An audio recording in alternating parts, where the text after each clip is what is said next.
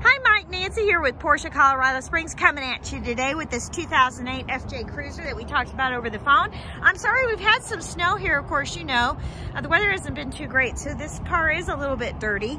Um, but I want to kind of point out to you um, the wheels and, and anything that I see. It looks good. It's got a few little scuffs on the other side, but you see that it's a black metallic paint with a white top and uh, it's cool looking. I like the side uh, runner, the, um, what do you call those?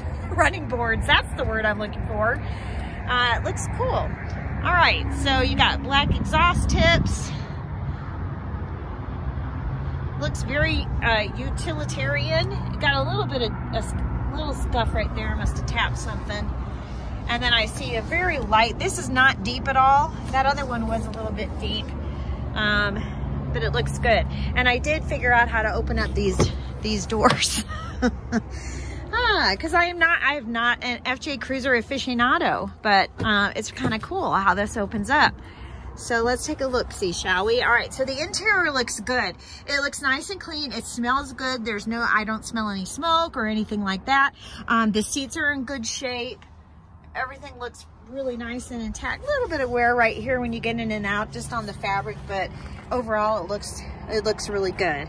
Um, and then let's see, I'm gonna have to start this in order to get the current odometer. So let me uh, do that for you. Um, but I just wanted to give you a little video of the inside so that you can see, because you didn't get to see any photos at all.